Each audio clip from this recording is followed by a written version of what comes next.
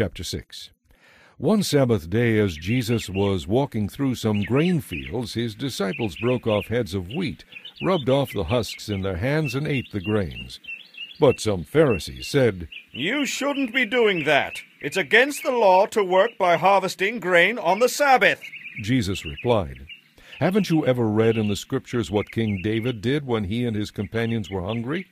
He went into the house of God, ate the special bread reserved for the priests alone, and then gave some to his friends. That was breaking the law too. And Jesus added, I, the Son of Man, am master even of the Sabbath. On another Sabbath day, a man with a deformed right hand was in the synagogue while Jesus was teaching.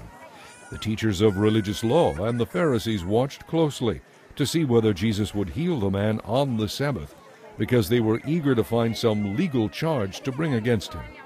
But Jesus knew their thoughts. He said to the man with the deformed hand, Come and stand here where everyone can see.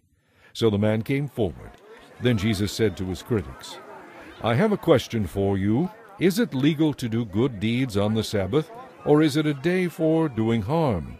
Is this a day to save life or to destroy it? He looked around at them, one by one, and then said to the man, Reach out your hand.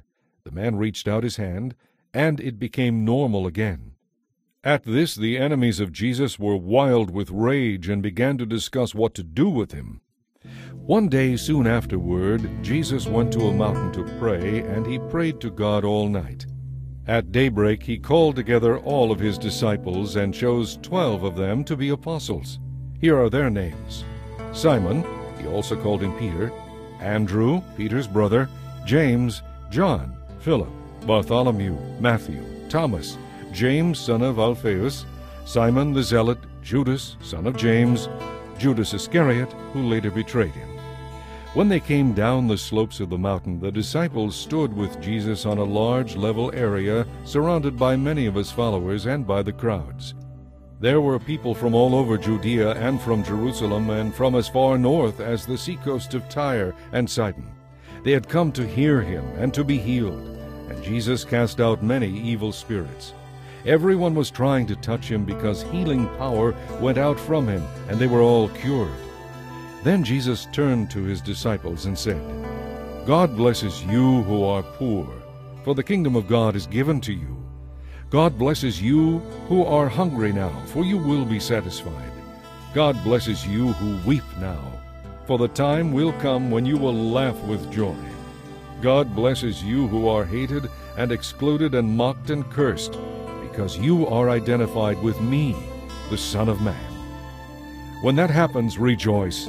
Yes, leap for joy, for a great reward awaits you in heaven. And remember, the ancient prophets were also treated that way by your ancestors. What sorrows await you who are rich, for you have your only happiness now. What sorrows await you who are satisfied and prosperous now, for a time of awful hunger is before you. What sorrows await you who laugh carelessly, for your laughing will turn to mourning and sorrow. What sorrows await you who are praised by the crowds, for their ancestors also praised false prophets. But if you are willing to listen, I say, love your enemies, do good to those who hate you, pray for the happiness of those who curse you, pray for those who hurt you. If someone slaps you on one cheek, turn the other cheek.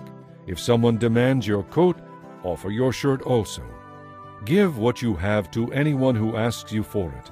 And when things are taken away from you, don't try to get them back. Do for others as you would like them to do for you.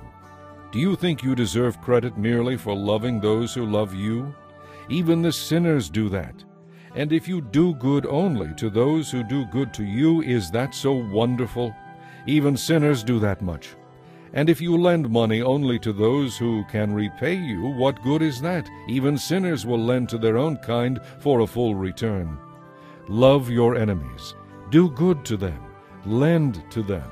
And don't be concerned that they might not repay. Then your reward from heaven will be very great, and you will truly be acting as children of the Most High. For he is kind to the unthankful and to those who are wicked. You must be compassionate just as your Father is compassionate. Stop judging others, and you will not be judged.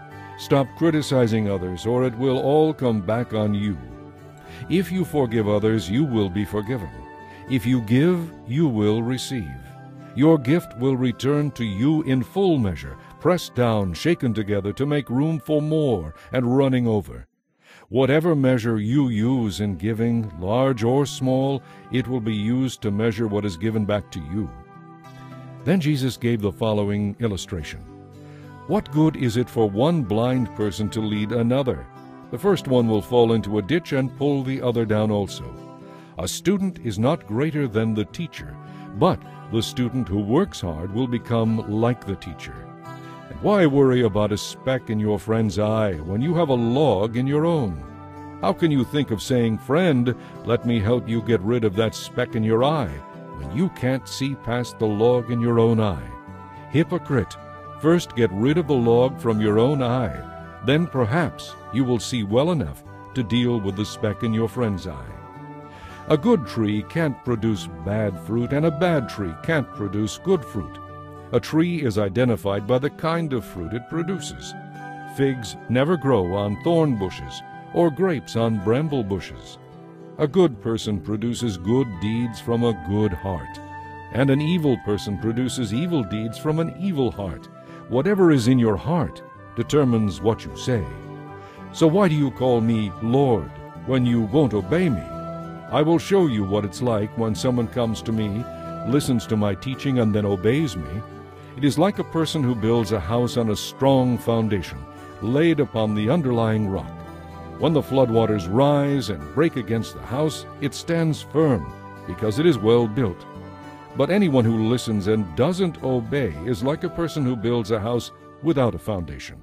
When the floods sweep down against that house, it will crumble into a heap of ruins.